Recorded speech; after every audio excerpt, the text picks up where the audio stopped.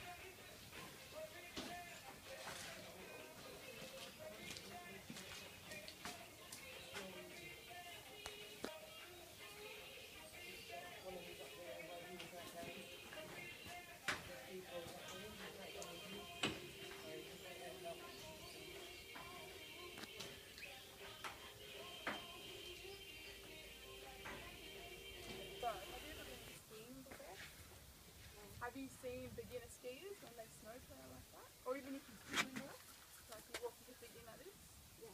That's how you should be riding. So you should be sitting. outward. Pardon? I go out. You go outward, that's what I used to do as well. So what we want to work on is really rolling our thighs in and then keeping our toes to directly in front. So if I was in front of everything would be parallel. Does that make sense? Mm-hmm. Cool. So yeah, it's just about keeping a nice flat seam and I use a cheek, I use this as my thing with the is and I just say if I can see that, I'm putting my legs in it. And it will hurt, like it'll really burn your thighs. It's like a workout. it's Like a gym workout. Alright, and then you can put your feet back in stirrups. And just remember, keep rolling your thighs in. That'll really help you get balance. Obviously that's his watching spot. There you go. How do your stirrups feel?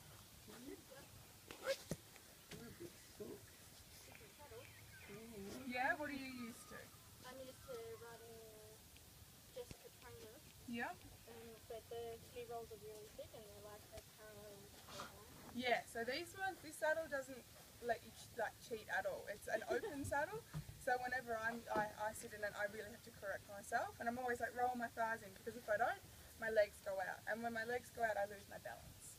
Does that make sense? Cool. And with this spine, what we want to think about is some riders ride with their back really arched, and some ride with their back arched. Okay, so what we want to work on is that if, if I was to grab your belly button and pull it to your back, that would bring your hips forward. So it's like I'm slouching and I'm rolling my hips back, and that gives me a flat spine. So what you, you kind of need to find out is how you can get your spine flatter. So the way, when we have a flat spine when we ride, it allows our sit bones to go deeper into the saddle. So I always just, when I get on, I roll my hips back, and then roll my shoulders back, and then there my core's really engaged. And you should feel your lower stomach be a bit tighter. I've got to get up and wait. Yeah? That makes sense. Gonna start running around a minute, and we'll be following. Back in exactly the same spot. I just keep it nice and slow. Good, alright. How does your walk feel? How is it different to your lessons at home? More forward. More forward, good. So even- even though Tambo is an old horse, Tambo, when he gets into an arena, he acts like a five-year-old. He's ready to go. He's always forward. He's always really, really happy to ride. Good, and I love that you just go deep into the corner. Good job. Good. Good with the eyes. So bend and soften with the inside rein. If you want to turn that way, your whole body turns that way. Good, more bend.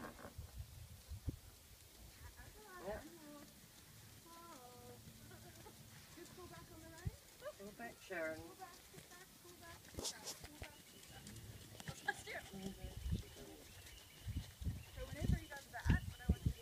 down. So you did just sponging. Yeah, so basically what I'm doing is I'm just doing a half halt lower on the rein. You go on a half halt? I haven't really tried it, but Okay, so a I half, kind of know what to do. a half halt is like a half halt is when we have our lower fingers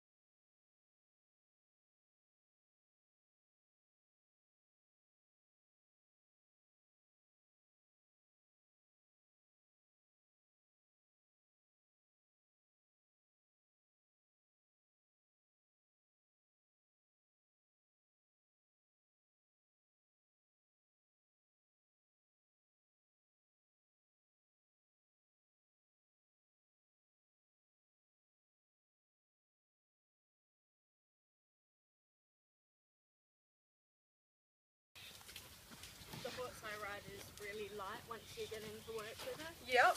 So it feels weird having this much pressure on the reins. Yeah, so the biggest thing about Friesians is because they're heavy horses, they can sometimes be a bit stronger.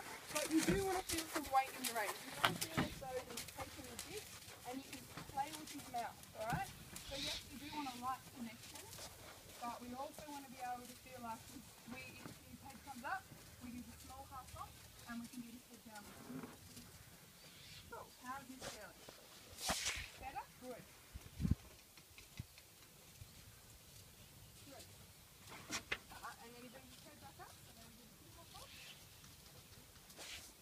And soften. Good. Perfect. This is all you. And just keep using your inside leg to push him out.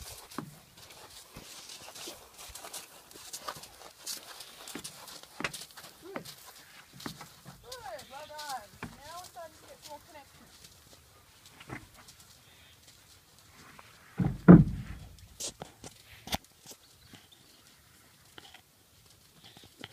Good, and perfect um, connection with your outside rein. That's really big. So the hardest thing is a lot of people forget about their outside rein. So I love that you're keeping that nice and connected. Good job. Good. And when you're ready, I want you to do a halt transition. Good. Okay, so when we ask for a halt transition, we want it to happen within two strides.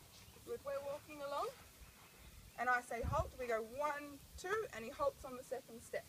Yep. All right, so walk on for me. And then in a few strides, I want you to ask for halt again. And count yourself in. Tell me when you're going to halt.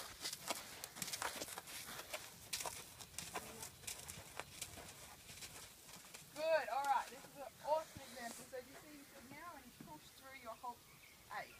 So next time when you go into it, what I want you to do is you've got your walk seat, so your walk seat's going one, two, three, four. And then when you go to halt, I want you to start to slow your seat down. So your seat will be going one, two, three, four, and really driving each seat bone into his back. Then we give a little, a few half halts on the reins, telling you that we're about to stop.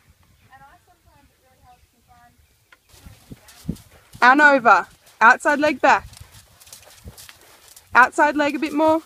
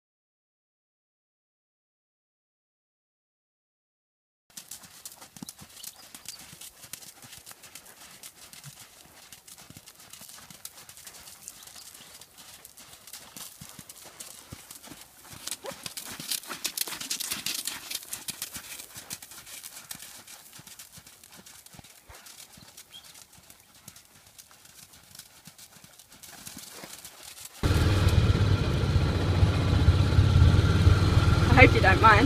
No.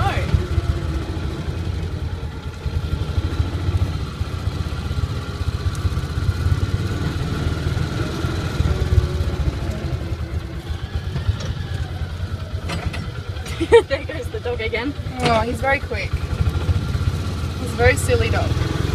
We get heaps of border collies in the boarding kennels I work at, Yeah. and they're just so hyper, it's ridiculous.